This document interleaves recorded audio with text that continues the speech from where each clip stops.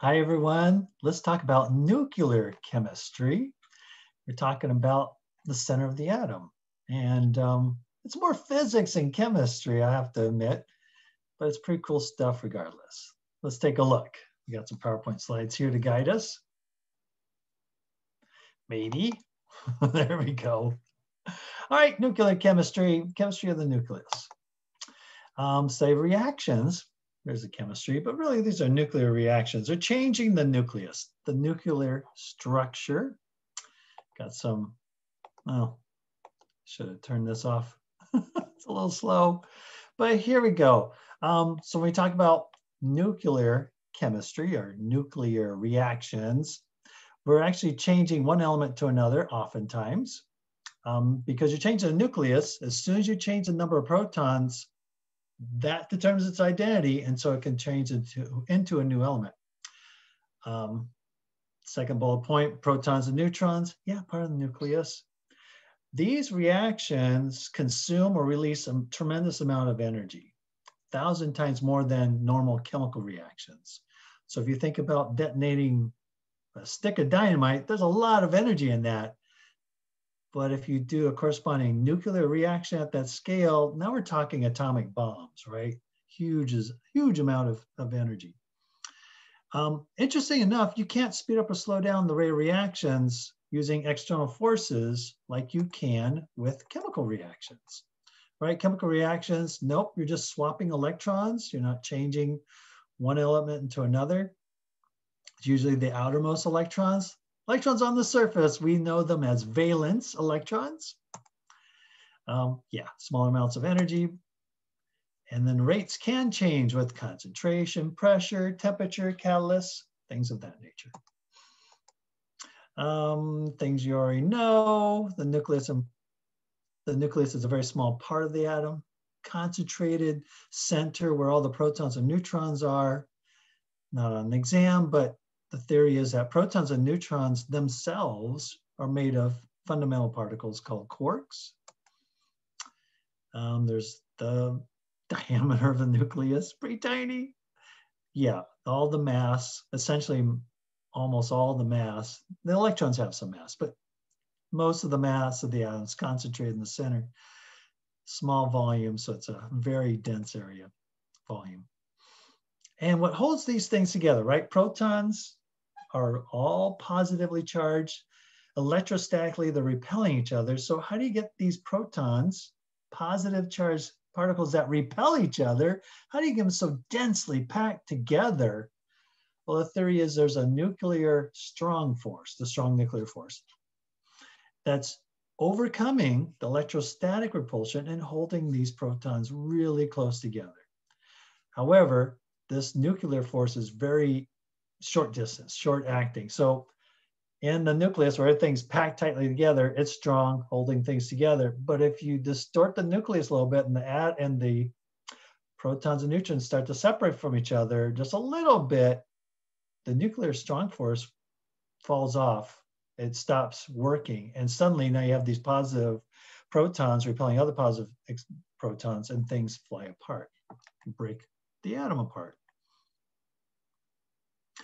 This is interesting here. So um, let's just go through this math and we'll talk about the physics, the chemistry be, uh, behind it in a second.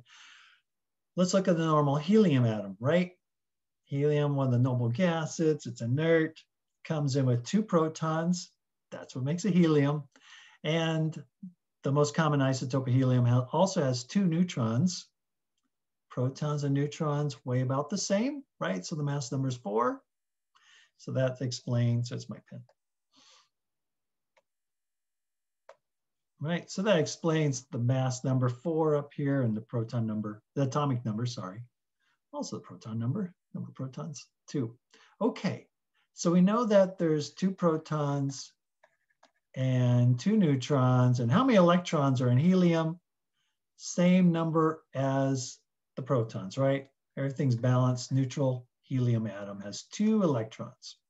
Okay, well, we've done some experiments where we separately measured the masses of these particles. So one proton is known to be 1.0073 atomic mass units. A neutron, We got some weight measurements on that, 1.0087 atomic mass units.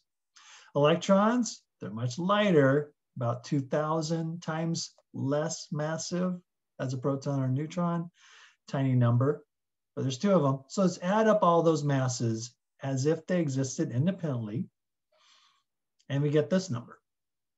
That's the total mass. But you can actually go into the lab and measure the mass of a helium atom using a mass spectrometer. And the mass of a helium atom is less, 4.0026. And it's like, well, what's going on here? Um, this instrument is one of the ways you can get at some of these numbers too. And there are other ways of getting the weight. So took some work, checking the instruments, making sure the data wasn't incorrect. No, it's correct. There actually is a loss of mass when you assemble all these individual pieces into one atom.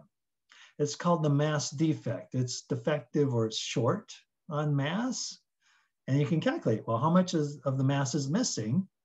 Well, if you weigh out the individual particles, separately weigh out two protons, separately weigh out two neutrons, separately weigh out two electrons, you get this amount the actual atom weighs this, so subtract the two, and there's the missing mass, the mass defect.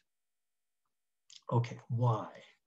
Well, Einstein has a nice famous equation that will help us figure that out. What's Einstein's most famous equation? E equals mc squared. Okay, so m is a mass. So we're missing some mass. Where'd it go? it's changed into energy. It's actually part of the strong nuclear force. That energy holding these protons together, it's where that energy has been kept. It's been changed where what used to be mass and now it's, it's energy. Weird. But that's all the experiments are pointing to. Um, e equals mc squared, E is energy, m is mass, c is the speed of light, and we're gonna square that, that number. Um, three times 10 to the 8. I'll put that on the exam. I'll probably put 3.00 times 10 to the 8 meters per second, just to give us a few more significant figures. We got a couple of conversion factors down here. I'll give you those two on the exam. So you can do calculations like this. Okay, so at the top is a heading, calculating the nuclear binding energy. So back here, E equals mc squared allows us to figure out given how much mass, what's the corresponding amount of energy? And that energy is the nuclear binding energy. Okay, so here's how you run through the calculations. Uh, you'll be given an atom and um, you'll be given the mass of the atom. It's not here, it's on the previous slide, sorry. It's over here, here it is. You're given the mass of the atom, 4.0026. You'll be given the mass of individual protons, neutrons, electrons, and then just knowing, right, you can figure out this chemical formula and just realize, oh yeah, the two is a protons, or go to the periodic table and look up He, two protons, atomic number two. You're told the mass number, and then there's no charge listed up here, so it is a neutral atom. So equal number of electrons. Given the chemical formula, you should be able to crank out a calculation for that atom and get its weight theoretically, and then go and look at the measured mass, that'll be given to you too, and subtract the two to get the mass defect. Okay, so we're coming into these calculations here, already calculated that. We have the mass defect. And then one of the cool things of the periodic table is that the atomic mass units, if you have one atom, that's how much it weighs. But if you have Avogadro's number, it weighs the atomic mass units in grams all you and I are going to do is take the mass defect and change the units of grams per mole. And then to use E equals mc squared, you need to change grams to kilograms. That's the standard SI unit. Okay, so 3.05 times 10 to the minus 5, not grams, but kilograms per mole. That's your mass. Where's my pen? So you're going to start with E equals m c squared. So the m is this number here, put it in there. c, you'll be given that, 3 times 10 to the 8th meters per second, whole thing squared, multiply them together, and you get this crazy number. And then on the previous slide, it said that these units are equivalent to a joule. Sorry, not the moles. Kilograms meter squared over second squared is equivalent to the energy unit called joule. So you're just going to change the units to joules per mole. And now you want to get out of moles because we're talking about a single atom. So use Avogadro's number. You'll be given that number too. You just need to know how to perform these steps. And after you have the joules per mole, change it to joules per atom or nucleus. There's one nucleus in an atom. And then you'll be given this number too. It depends on the phrasing of the question. Um, I think for me, if I ask for the calculate the, the nuclear binding energy, I don't know if you guys are seeing what I'm seeing, there's stuff in the way. If I ask you, what's the nuclear binding energy of helium? These are the calculations. And once you get to joules, I'd be cool with that. Now in the homework, they might ask you, express the energy in mega electron volts. So then you'll be given the conversion factor to change joules to electron volts. And then if you divide by a million, you can change electron volts into mega electron volts. There we go.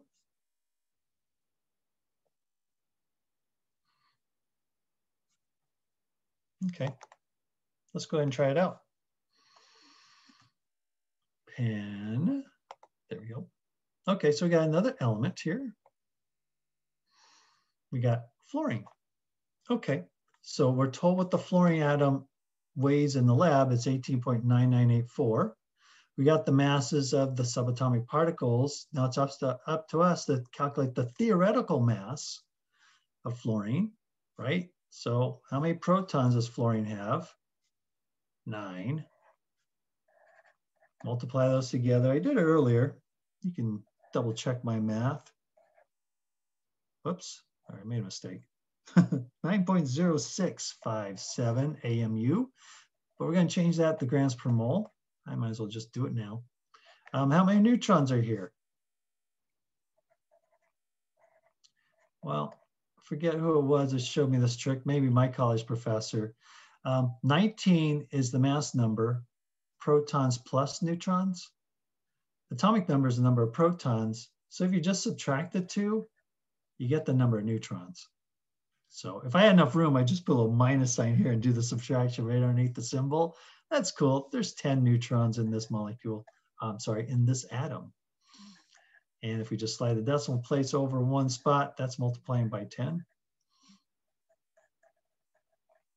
Cool, how many electrons? Well, I don't see any charge. It's not F minus, it's just neutral. So same number of electrons as protons, nine of them. And so that number is, lost my spot, there it is, uh, 0 0.00495. Add them up, add your columns up together, and I got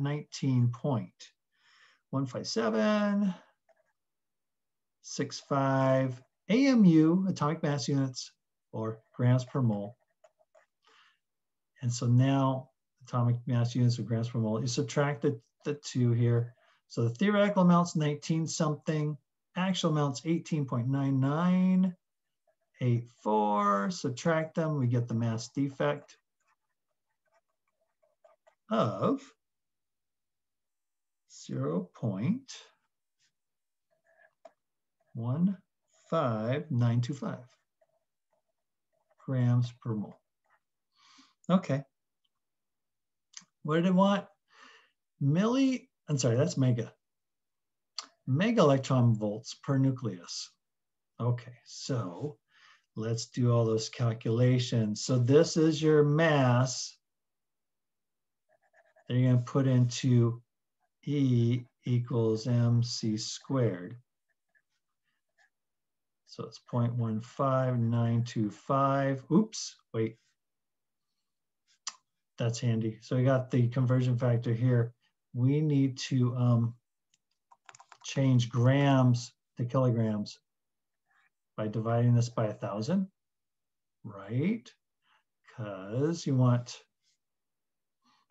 let's see, the you have 1,000 grams is equal to a kilogram. That's something that's not given to you. You should know that one. So that cancel out the grams, you want to divide by 1,000 G. You're left with kilograms. Okay, and so let's slide the decimal place over one.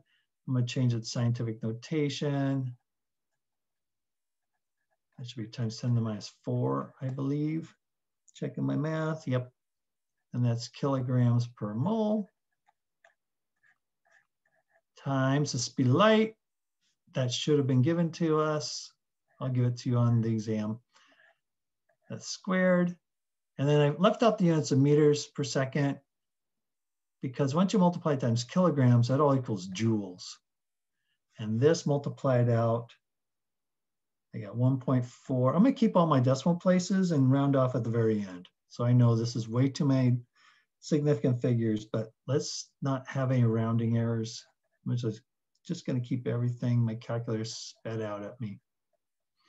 10 to the 13 joules per mole. That's a J. okay, so I use E equals MC squared. I got a J here, yay, but it's mega electron volts. So I need to change it with this number. And it's also per nucleus, and I have per mole. So pay attention to the question. It has the units you need to end up in, and just keep tracking your own units so you know what to do next. I need to get out of moles and into individual atoms or nuclei. So to cancel out the moles, I need to multiply by one mole.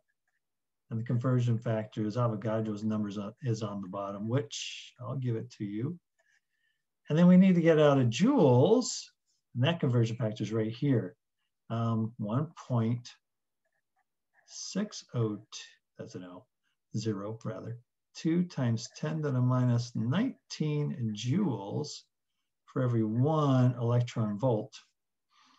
So this number we got divided by Avogadro's number, divided by that conversion factor, the energy now is pretty big. Where is it? I didn't do it.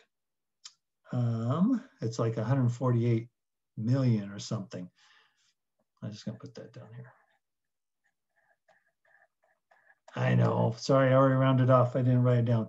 Um, but what you have to do is change, this is in electron volts, right? EV, electron volts, and I want it in mega electron volts.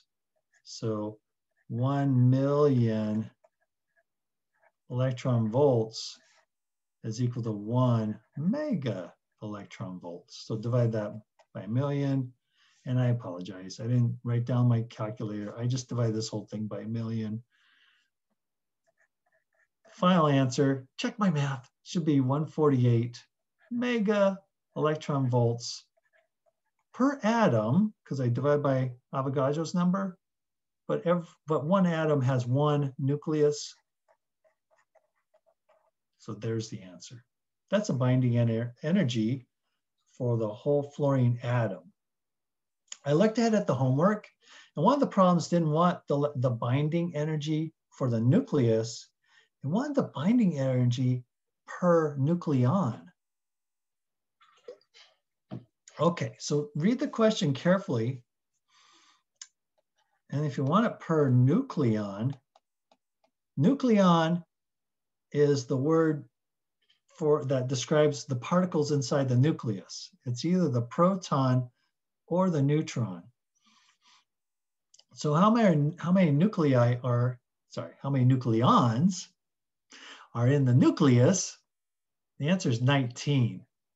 There's nine protons and 10 neutrons for a total, there's no room over here, for a total of 19 nucleons. So for the whole nucleus, this is how much binding energy is there, 148. But if you want it per nucleon, take 148 mega electron volts and divide it by 19, the number of nucleons. And I got 7.8. There's only two sig figs in 19, so let's do that. To 7.8 mega electron volts per nucleon. Cool.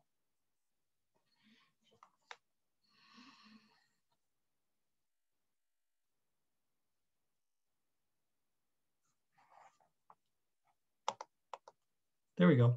This will be a very common chart that you'll see anytime you're talking about radioactivity.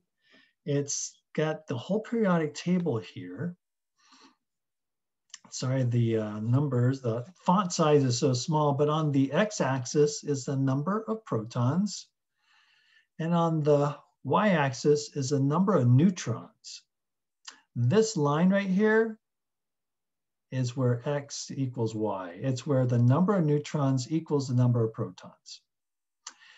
The shaded region, the two different colors here, is that blue and green?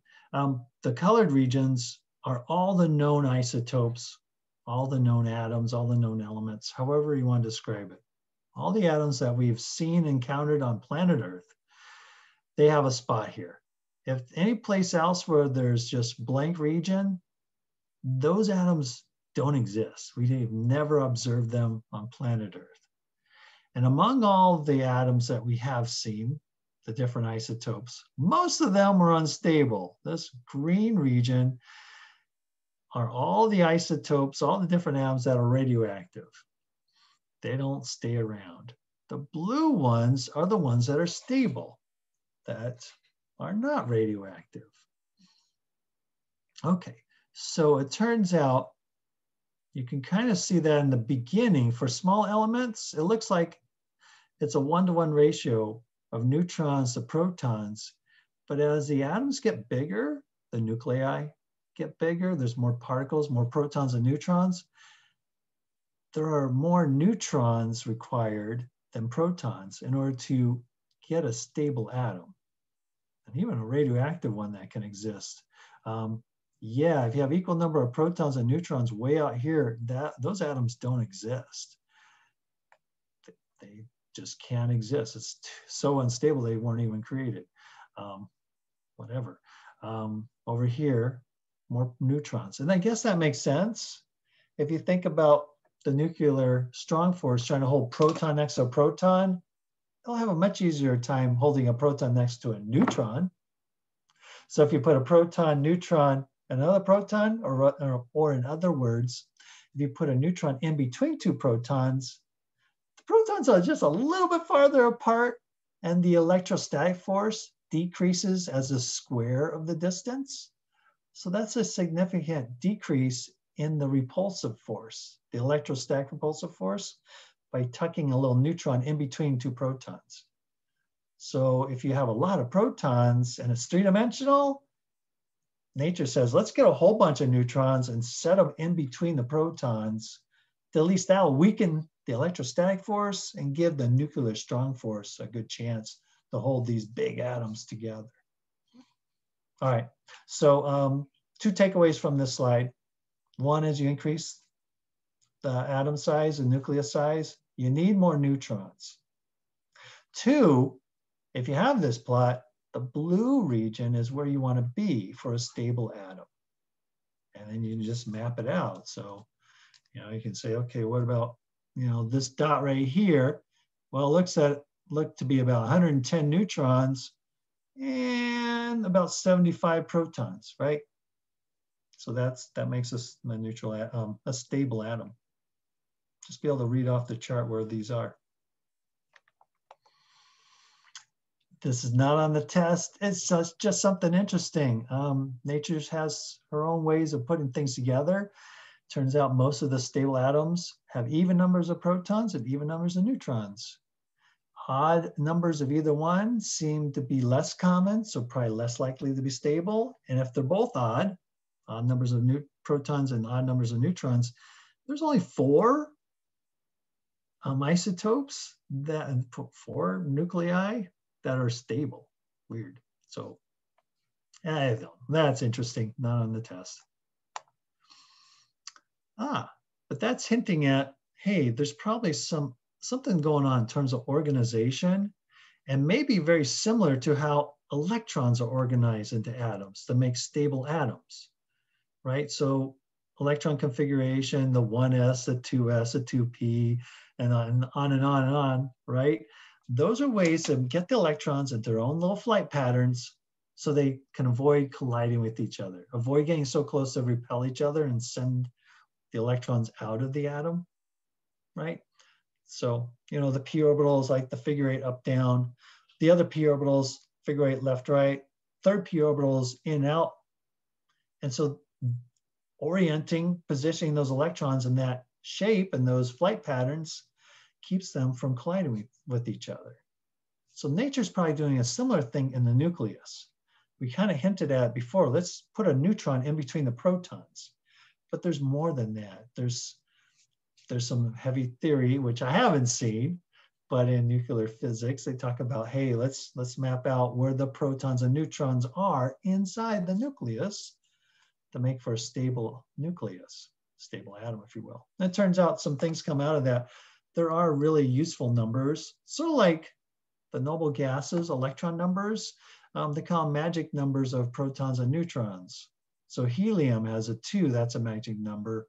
Oxygen an eight. Um, there's also an, a magic number of neutrons, right? 16 minus eight is eight neutrons, that's a magic number.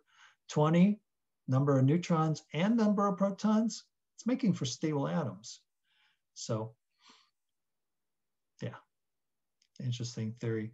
Um, if you add 82 and 126, that's 208. So 126, yeah?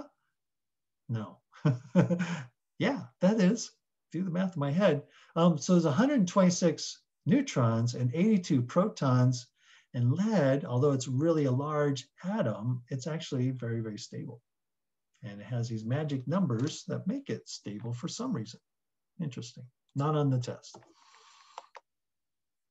Okay. Not on the test. it's a neat pattern. Um, we just calculated the nuclear binding energy for fluorine. I forget what it was. Was it like 7.2? It was 7.8 mega electron volts per nucleon. If you do that, binding energy per nucleon for all the elements, it's not a constant. Um, for the lighter elements, here's the mass number down here. Um, turns out the numbers are pretty low. They increase as you increase the size of the atom, but after a certain size, the binding energy per mass number is actually decreasing. The binding energy per nucleon, I should say. And so there's an ideal spot where you maximize the binding energy, which if you have maximized binding energy, that's going to hold the nuclei really tightly together. That's around, I think it's around 56. It's around iron. Iron turns out to be, if you had to say which element on the periodic table is the most stable, it'd be iron. And um, we take some astrology classes. Astronomy, not astrology, yikes. astronomy classes um, and you study the birth and life cycle of stars, um, you'll see this, this graph show up there and it kind of explains how you know, stars, um, you know, start out like our star, a yellow star burning mainly hydrogen and helium. It's doing fusion. So hydrogen and helium, they don't have a lot of binding energy, but you pack them into bigger atoms and now they're held together more tightly with binding energy and the fusion actually releases energy. And then, um, gosh, was it the white dwarfs? I forget my astronomy. Um, yeah, they uh, they break down. I forget how it goes. But a nuclear bomb is going to break down to create more stable atoms, releasing energy in a nuclear bomb and a fission reaction, splitting the atoms.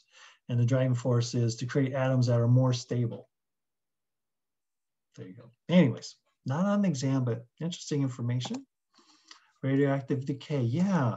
Um, this is very much related to kinetics, right? So you saw earlier this semester, first zero order kinetics, first order kinetics, and second order kinetics. Radioactive decay follows first order kinetics. Um, this slide is saying, hey, if you're outside the blue region, if you're in the green, you're unstable. Nature says, hey, do a reaction to create something more stable. And the way the nucleus can stabilize itself is doing a nuclear reaction to change into more stable nuclei.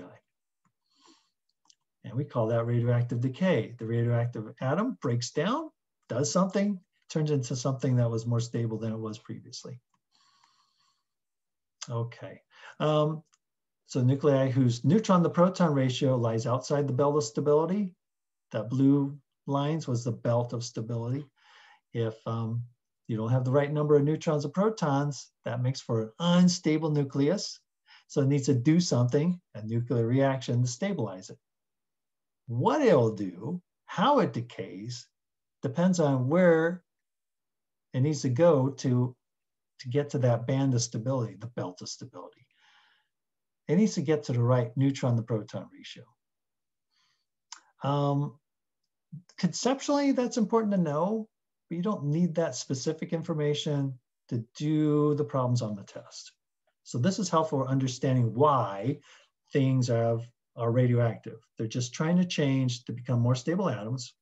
And why do some radioactive atoms do alpha decay and others do beta decay and others do something else? The driving force is to try and get to the right ratio of neutrons or protons that makes a stable atom. There you go. Oops. Yeah, and then um, all that binding energy, as you change the nucleus, you're going to release particles and that binding energy is going to be released. And so that's going to kick out these pieces of the atom, the nucleus, coming flying out with kinetic energy, lots of kinetic energy. Okay, so here are the known, I don't know about all of them. Here's the ones we're going to look at. Um, there's alpha particles. So, ooh, okay, so now here's some details that you do need to know. Okay, so um, you do need to know that an alpha particle is essentially the nucleus of a helium atom. It's not helium because it's missing electrons. Oh, fun fact. Do you know where they get the helium to fill up a helium balloon? Well, knowing that it's not a jet airliner going up to the top of the atmosphere because all the helium that you release is going to go up there. No, they get from the ground. So when they dig for natural gas, one of the natural gases is helium. What's this all this helium doing in the rock down below? Well, because many of the many of the earth, uh, elements in the Earth's crust is made of radioactive elements that are undergoing alpha decay. They're releasing alpha particles, which are the nucleus of a helium atom. So as a nuclear reaction takes place, an element releases an alpha particle.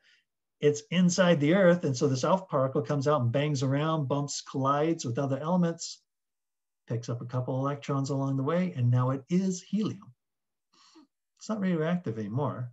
No, the helium atom is stable. It came from radioactivity, so it's okay to play around with the helium balloons. It came from radioactive materials, but it itself is not radioactive. Okay, that's the first particle. You need to know it's a helium nucleus. Helium from the periodic table, you'll get that. You look it up. It's element number two, so two protons. Double it to get the mass number. You'll need to know that an alpha particle consists of two neutrons and two protons. What else is in a in an atom? Protons, neutrons, and beta particles. No electrons, but if the nucleus kicks out an electron, we call it a beta particle. What's really happening is that, let's see if I can remember, I think it's a neutron is breaking down, releasing an electron and a proton, I think an anti-neutrino, not on the test. But anyways, it is possible for the nucleus contain protons and neutrons to eject an electron, which we will then call a beta particle. Um, alpha, beta, gamma. So we have protons and neutrons, two of each make up the alpha particle. Beta particle is an electron. Got all of our particles. What else is in the universe? Light, right? So gamma ray is just high energy light, high energy electromagnetic radiation. Um, then we have some other ones. Sometimes a free proton or a free neutron can come out of nucleus. Usually happens when big nuclei split apart and it doesn't fall apart cleanly into two pieces. It's like you break a cookie, you get two big pieces of cookie, but a lot of crumbs. So if you break the nucleus, sometimes out can pop out a proton all by itself or a neutron all by itself. And then there are times that a proton can break down to release antimatter. The opposite of an electron, a positron. It actually has the same mass as an electron, but it has a positive charge. And it does something else, but the proton will change into a neutron that way. I can't remember the, the physics behind it. But anyways, these are the particles. You do need to know what they are, but more importantly, you, you need to know their symbols. So let's talk about that. Let's start with the one you should be most familiar with, and that's just the chemical formulas, chemical symbols rather. We got He, which comes off the periodic table.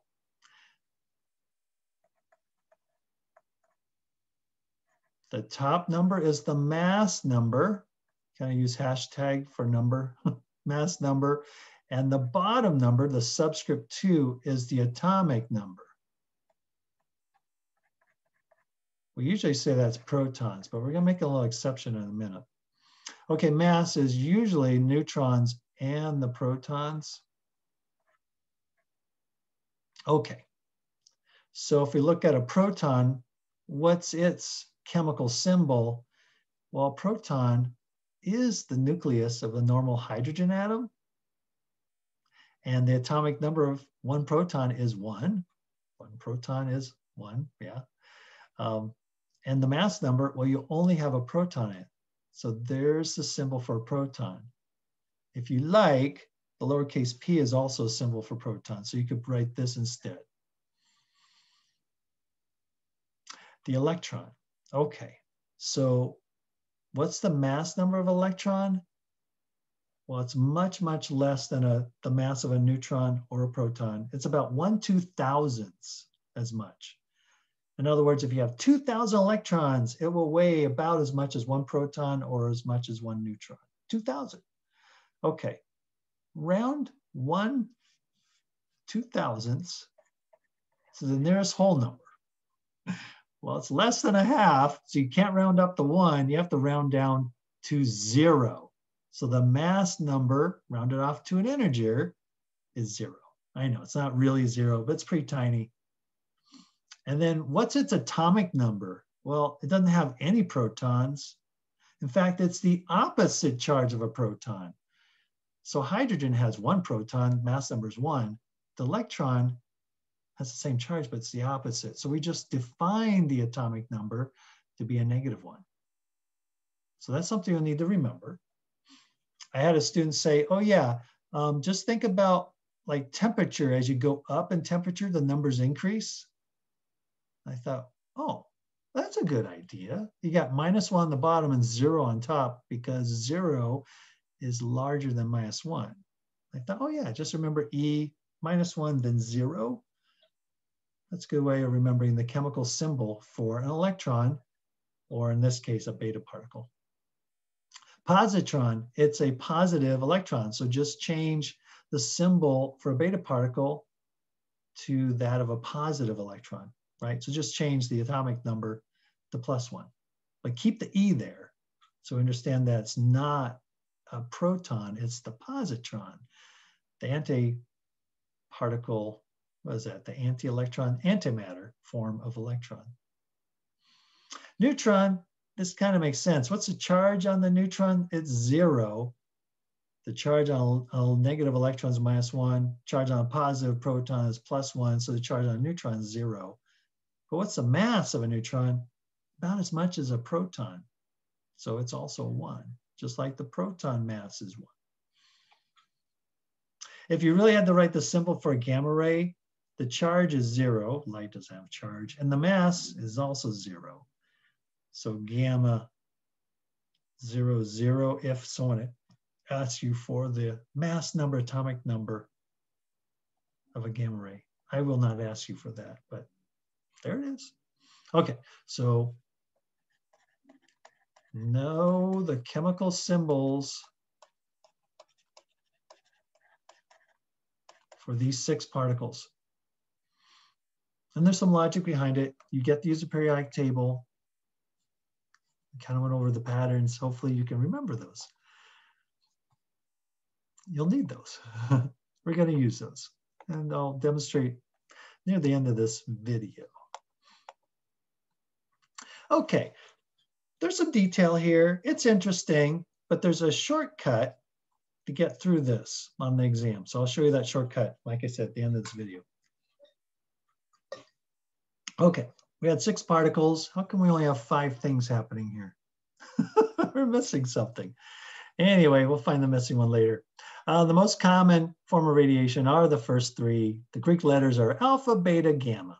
So very common way of atoms become more stable is by kicking out an alpha particle, kicking out the nucleus of a helium atom. So that's what's highlighted right here. We got a big atom, and then two neutrons, two protons come out of the nucleus as a single entity, the alpha particle.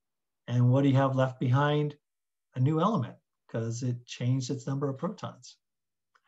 And it does this, it's driven by the fact that afterwards, there's a different ratio of neutrons to protons that hopefully makes it more stable. Actually, not hopefully, it will make it more stable. Otherwise, nature would not allow this to happen. It's not going to create something more unstable. Okay, another idea is you have a neutron in this big atom that falls apart to create an electron which gets kicked out and a proton which stays behind. And that kind of makes sense, right? Protons are positive, electrons are negative. If you squeeze them together somehow, the plus and minus charges would cancel out and you'd have essentially a neutron. I think you need an antineutrino in there. Some, anyways, take some physics and get the full story. But for us, beta decay comes about when a neutron changes into a proton and kicks out an electron we don't call it an electron. It really is an electron, but we call it a beta particle. And the whole process is called beta decay or beta radiation. There's another case of radiation where the atom just, the nucleus rather, it just reorganizes itself. Maybe if these protons and neutrons are like in different shells, different configurations, it wiggles and reorients. Maybe a neutron gets closer in between two protons or something. And as it shuffles, it's like, okay, that's a little more comfortable. And it releases a gamma ray. And then the resulting atom is now more stable. Okay, positron emission. That's where a positive charge comes out. The anti-electron comes out. So what we have is a proton that kicks out the positron. That's this little plus charge here. And what's left behind is a neutron. And then I think this one's the coolest of it all. Um, you have this nucleus that's just not happy, it's, it's unstable, and the 1s electrons are pretty darn close. And with all these positive charges, there's a chance the electrons flying around may actually collide with the nucleus, pretty rare. But here it actually happens. One of the 1s electrons collides with the nucleus, and then the electron pairs up with the proton to make a neutron. And that's called electron capture. And it's a good name for it. gets, and then X-rays come out as a form of radiation. And you're left with an atom that's more stable than what it started with. Now again, these are good details. If you like them, you can learn it. Um, but there's a shortcut to get you through the radiation questions that you might see on the exam. And here it is. So here's the key to the shortcut. It will always be true, certainly with the radioactive um, reactions we see, the nuclear reactions we see, that the total uh, mass before and after will be the same. It's a constant. And the total charge before and after will be the same. In fact, we actually just count the protons the proton numbers will be the same before and after. And if you know that, then you can tackle any of the radioactive problems, radioactive problems, any of the problems dealing with radioactivity that you may see on the upcoming exam. Okay, so here's the generic form. Hey, you got this atom, it's radioactive. There's a proton number, atomic number, a Z number. Uh, the atomic number is Z1 and a mass number M1 and it falls apart into two pieces.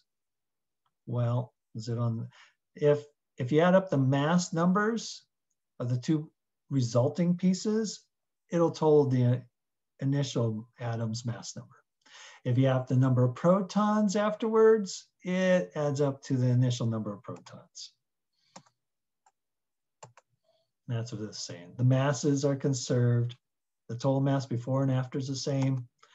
And the number of protons are the same. So the total protons before is equal to the sum of the protons afterwards.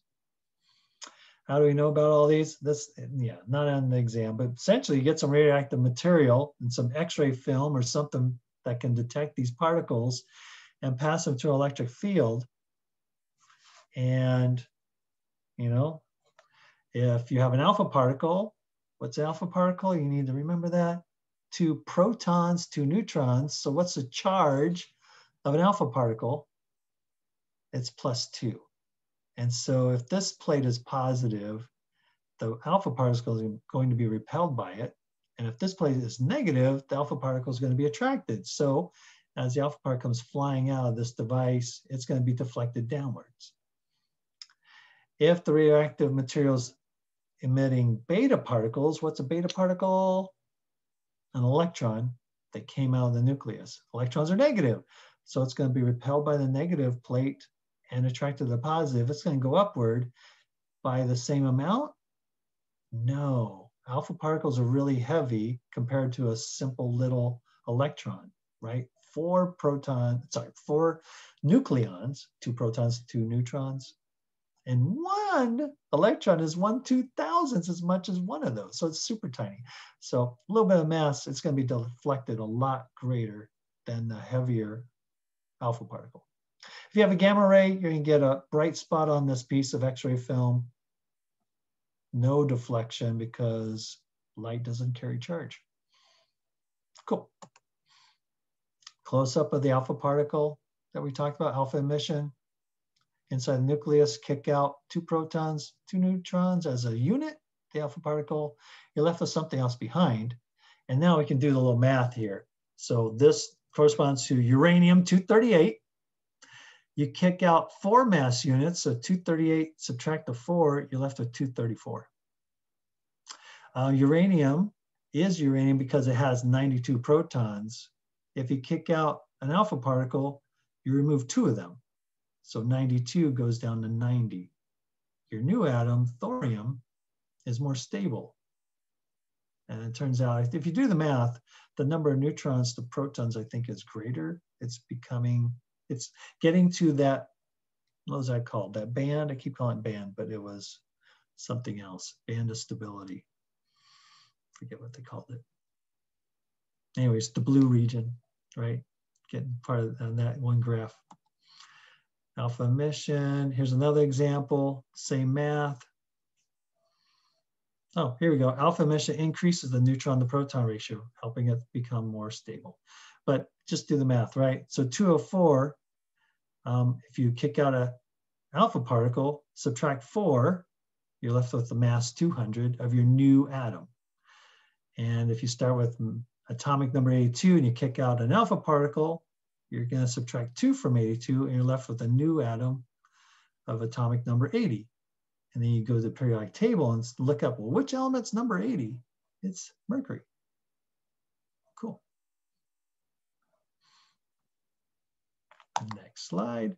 Um, neutron can fall apart to produce a proton and kick out the beta particle, the electron. Okay, so this is trying to explain why some atoms, radioactive atoms, kick out alpha particles. They're trying to increase the number of neutrons to protons. There's other radioactive atoms that actually have too many neutrons. So here's a great way to get rid of one. Have a neutron break down the form of proton and kick out an electron. And now the atom will have fewer neutrons and now it's lowering the ratio. It's trying to get to that region of stability. So this is beta emission, beta decay, beta radiation, kicking out a beta particle. There's also neutron emission, just kick out a neutron.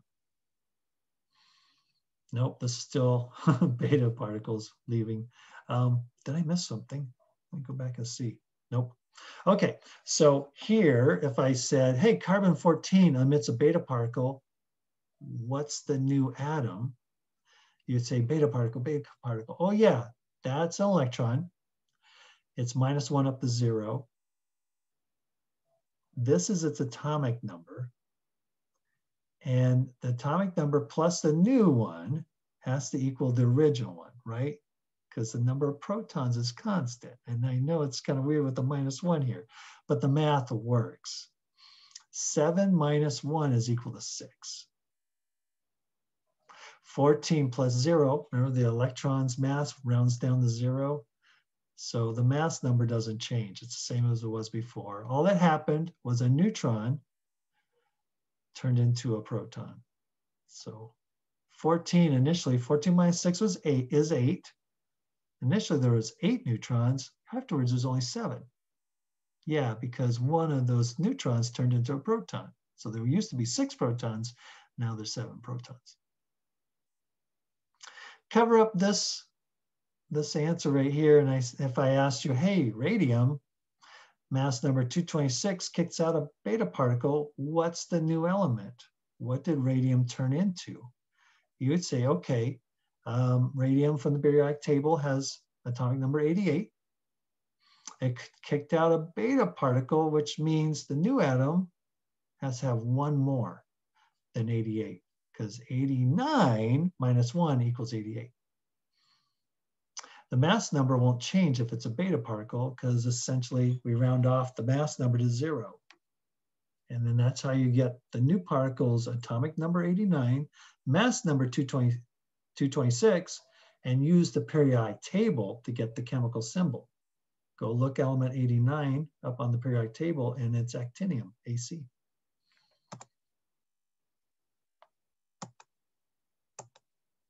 Neutron emission, same thing.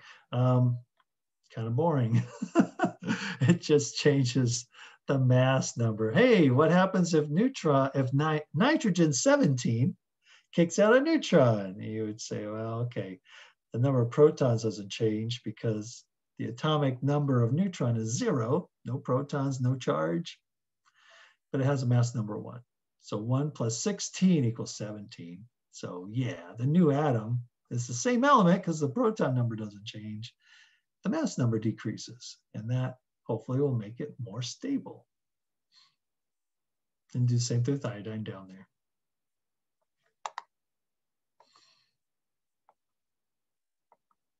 Okay, so it's talking about other ways to make things more stable. So um, you'd have to be told, hey, argon is going to do electron uh, capture. What is the new element? Okay, so argon 37, I have to tell you the mass number. And I'll say, hey, does electron can't capture? What's the new element? So you'd say, okay, the electron symbol is minus one zero. Number of protons has to be the same. So 18 minus one gives you the new atomic number 17. Go to the periodic table and element 17 is chlorine. Cool. And then the mass number of electrons zero. So you start with mass number 37 plus zero, you end up with 37. And there you. It's chlorine 37 is the answer. When argon 37 does electron cam, uh, capture. Positron emission. Okay, I might say, hey, um, potassium 39 emits a positron. What element is created? Okay, so potassium 39 is going to emit positrons. Positron, here we go. You ever watched Star Trek The Next Generation? I remember Data, the android, had a positronic brain. And uh, that's what I think of. Doesn't really help here. Just a little distraction. Sorry.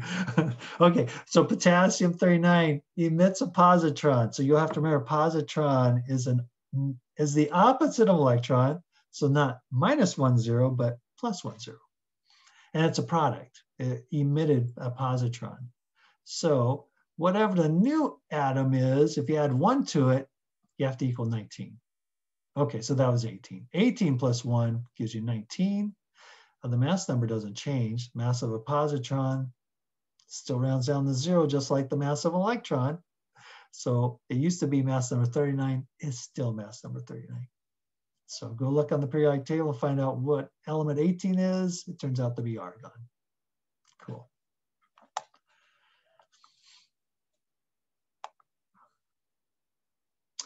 Um, if you have uranium-238, that's a natural element, but it's naturally radioactive. It's found in the Earth's crust. And um, the Earth internal um, temperature of the Earth is actually being warmed by radioactivity all the time. And the pathway for uranium is it kicks out an alpha particle. So it goes from atomic number 92 down to 90. Why did it lose two atomic numbers? Because uh, an, uh, an alpha particle has two protons. So it started with 92 protons. After one alpha particle left, now it's atomic number 90. And then it, that new element, thorium-234, is a little more stable, but it's still radioactive. And ejects a beta particle.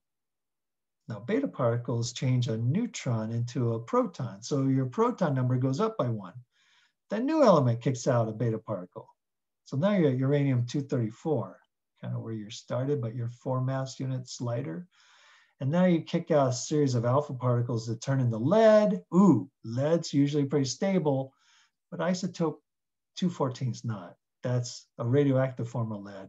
So you do a couple beta particles, then an alpha to get the lead 210. It's getting better, still radioactive. Two more beta emissions, and then one final alpha emission, and then your lead 206, a very stable form of lead. Yeah, the amount of lead in the Earth's crust is increasing all the time as natural sources of uranium go through this cascade, this chain reaction, and end up as lead. Oh, was that on the test? No, it's just kind of interesting. Yeah. okay, this, you kind of already know this, from kinetics early on in this semester. We talked about rates of reaction, first order reactions. So we're just gonna borrow some of that math and talk about half-life and radioactive decay. So they're doing the math a little differently than I learned it, but I'll show you how to do it in a second. Let's get the information up here. Okay, most of the time you're told about a specific radioactive element and you'll be given the half-life. The half-life pen, please, is equal to time for half of the radioactive atoms to decay. Radioactive atoms to decay. Now what's interesting is we don't know how to predict when a radioactive atom will emit its radiation and become more stable. All we know is on average that if you have a collection of a whole bunch of radioactive atoms, we measured it for some time, it's pretty consistent. The time it takes for half of those atoms to go radioactive is constant. And then the, so you wait for a half-life, the time it takes for half of them to decay away, and now you have to wait for another half-life, the same interval of time, for half of those atoms to go radioactive. And then you have to wait again for another interval of a half-life. And the process just goes on and on until eventually all the atoms have decayed. It takes a very long time, which is why nuclear power plants have such trouble with the radioactive waste because it takes a long time for it to go away.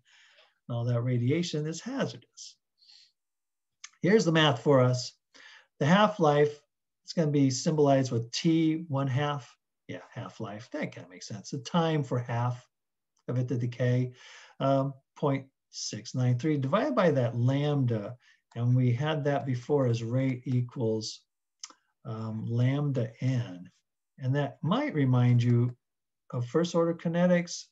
We talked about the change in the concentration of a molecule per time is equal to K some rate constant K times the concentration of A. So the lambda and the K are, are the same thing. The rate equals Ka, the rate equals lambda n. The math, the computation's the same, but the definition is a little different. Um, when we talked about kinetics, we talked about the concentration of reactant A changing in the products. Here we're talking about the number n the number of radioactive atoms that are decaying and how quickly they're doing it. Anyways, there we go. Um, that's the rate, first order rate law. You might remember the, this is the derivative form. The integration form was A at some time is equal to the initial concentration of A, so A sub zero times e to the minus kt. Well, that's this equation over here. And hey, they're using lambda. This should still be a lambda. They kind of messed up. And then if you solve for t, take the natural log, you get this thing. And I don't remember if you did that. I think you, maybe. If you solve this for t, then you get 1 over k natural log of, I shouldn't have put in brackets. Uh, and that's not an n. Yeah, let's get rid of that bracket. It should be a parentheses. Uh, the concentration of A at some time divided by the concentration of A initially at time zero. These look the same. I will give you these equations. You just need to be able to use them.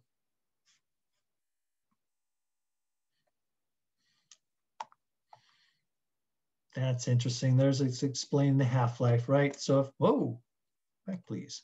If you start with 10 grams of a radioactive element at time zero, if you go out one half-life, then 10 grams, half of it will be five. So five grams will have done its thing. I don't know what cobalt 60 does. Is it, it might be a gamma emitter. I don't remember.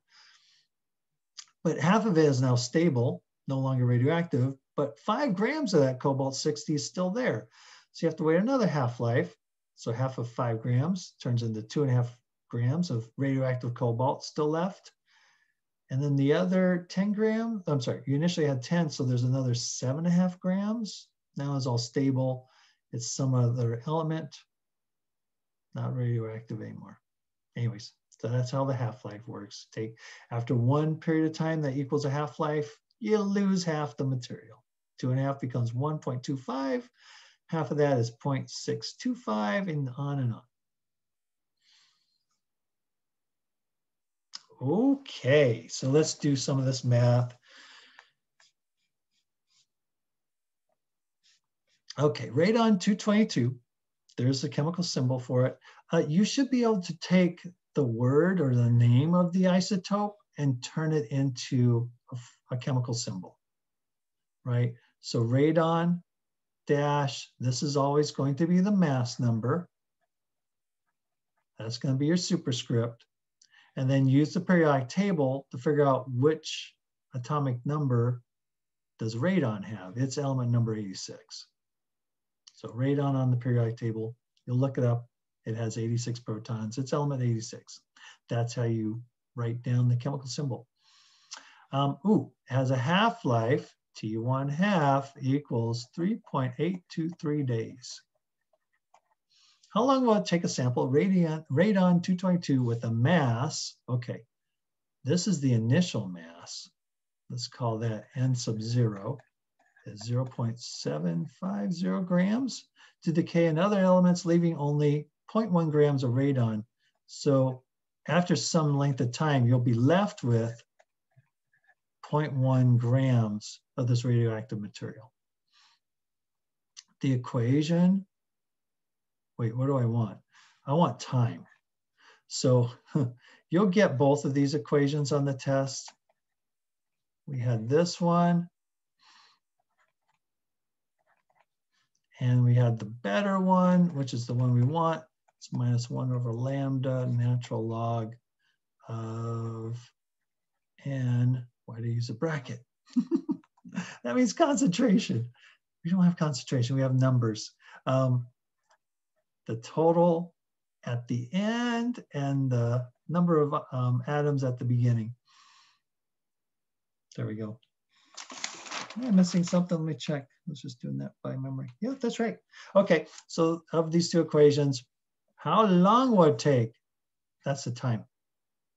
Okay, so what we need is to solve, you know, use this equation, find time. Um, NT, got it, it's 0.1 n sub zero, the number at time zero is 0.75. Good, got it. Um, what's lambda? Oh yeah. So we'll, I'll also give you that equation. Um, the half-life is equal to 0.6, what was it, 93? Yes, 93 over lambda. Okay, and we need lambda. So solve for lambda.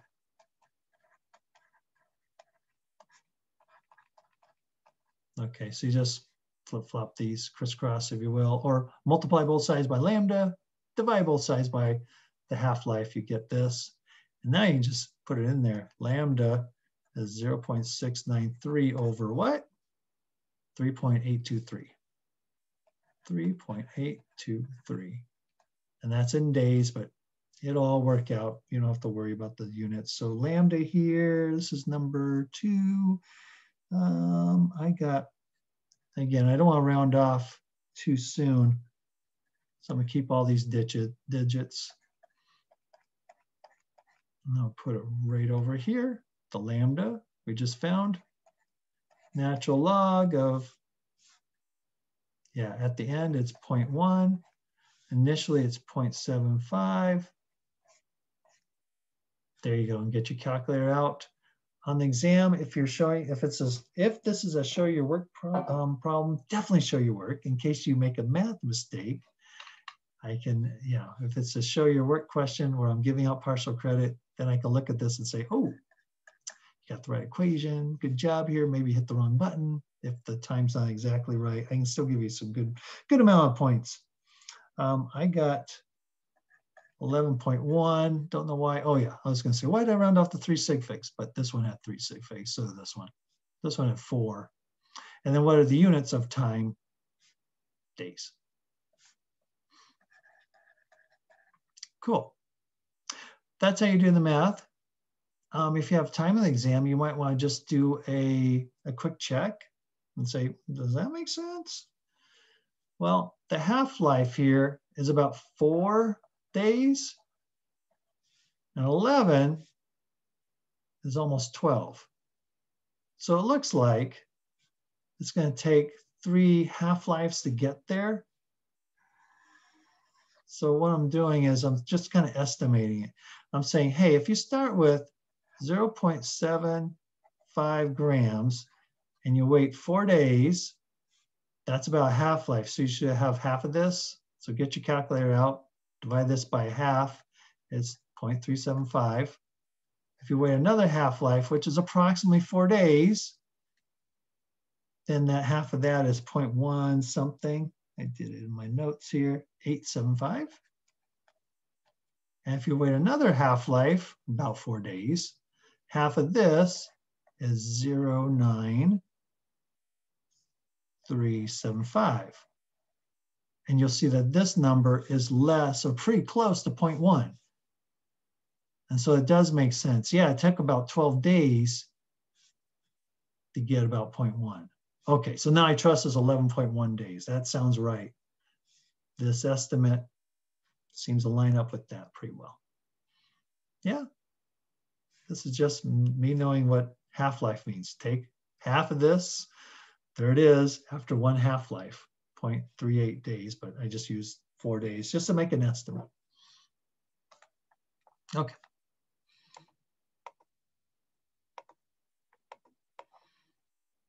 Okay, we can do another one here. Actually, it doesn't take long. Let's just do it. All right, so what we got? Um, you can read through all this. I'm just gonna go grab the numbers. Okay, so this, this artifact showed a decay rate of 14.2 N. There we go. 14.2 disintegrations per minute per gram of carbon. What age is implied by this result if currently living organisms decay at a rate of 15.3 disintegrations per minute? Okay, this is the time zero amount, and this is, you know, after we let the half-life go, um, this is what's remaining. Okay, so what's going on here? This is carbon dating. So if you want to know how old a fossil is, you can do carbon dating. And what the idea is, some the information is on some later slides. So this is kind of out of sequence, but the idea is that um, carbon 14 is radioactive. It's not that radioactive. We have some of our bodies, and during our lifespan, very few of them are going to radioactively decay. And uh, don't worry, we've been dealing with radiations, radiation our entire life, right? There's cosmic rays, there's uranium in the crust, there's natural forms of radiation, but such low levels that life has adapted to it. We have ways of repairing radioactive decay, um, damage, radioactive um, damage from radiation. radiation. It, the problem is if you get too much of it too quickly, that overwhelms our repair systems and you can get radiation sickness. Um, the point is, is that carbon-14 is being created all the time. It's just a natural process. And so it exists in our environment all the time. And so you can go and see, well, how much is existing right now? We're assuming that this has always been the amount that existed at any point in time. Way back before they made the Shroud of Turin, it's probably made out of cotton. So at the time that the cotton plant was growing and it made the cotton that was woven into this, this artifact, at that moment in time, the amount of carbon-14 in the atmosphere, which was taken up by the cotton plant, wove, you know, made into cotton, was 15.3. And then this artifact doesn't change its amount of carbon-14, right? The cotton plant cotton plant died and not making new cotton. So now the natural amount of carbon-14 in the cotton is just going to radioactively decay. And now today we can measure how much is there decaying away, and it's 14.2, which is less than 15.3. And now we can use the rate law to figure out how much time has elapsed for 15.3 to go down to 14.2. The time is negative 1 over lambda times the natural log of what it is now divided by what it was initially. And then we also need the lambda, which is the half-life is equal to 0.693, I keep forgetting, over lambda. So flip these, put in 517. So lambda equals 0.693 over 500 5,715 years. And that cranks out to a tiny number. I got to be 1.2126 times 10 to the minus 4, natural log, and uh, the current radiation radioactivity level is 14.2. It used to be 15.3. Get your calculator out, and I got the time to be something, 615. What are the units? Whatever the units were on the half-life, years. So based on carbon-14 dating, this artifact is only 615 years old. Okay, so that casts some doubt as to whether it really was the burial shroud of Christ, which was 2,000 years ago. Okay, it's not definitive proof, I'm just saying, hey, this is evidence saying probably not. Hopefully we're not too controversial with this, this homework problem. All right, what else we got? We're getting pretty close to the end here. There we go. Um, nuclear transmutation. Okay, so this is where people kind of get involved. If you want to make some weapons grade plutonium, go get some uranium out of the Earth's crust, the natural forms 238, and bombard it with alpha particles. And you can start producing plutonium. And you also kick out a neutron. This plutonium naturally decays into this isotope.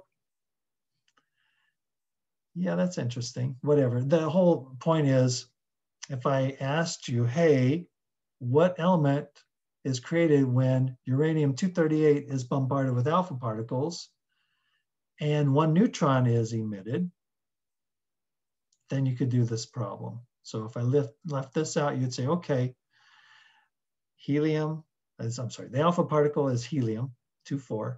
Uranium, I look it up, it's element number 92. 92 plus 2 is 94. That's the new um, atomic number. And I was told also you make a neutron. Well, there's no atomic number. It's zero for neutron. So the new element is number 94, which is plutonium. Then you do the math up here to figure out the isotope of plutonium.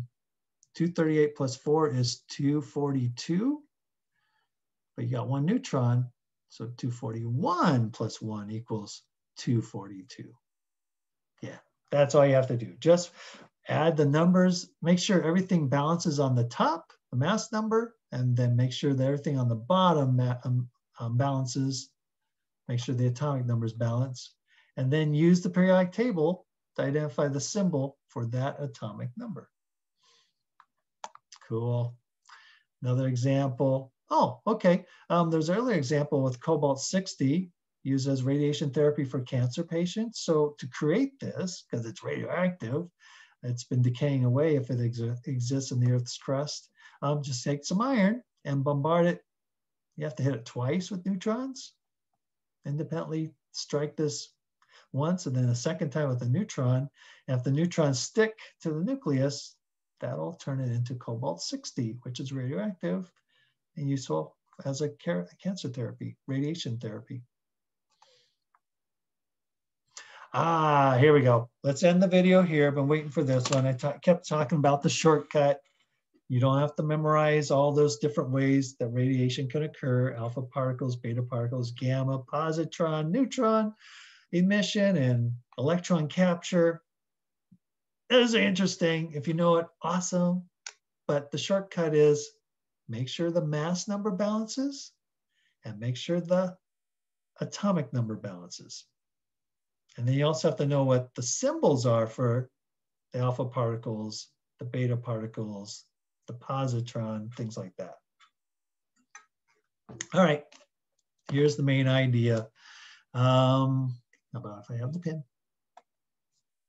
The element berkelium was first prepared at the University of California at Berkeley, hmm, go figure, Berkeley, berkelium, in 1949 by alpha bombardment.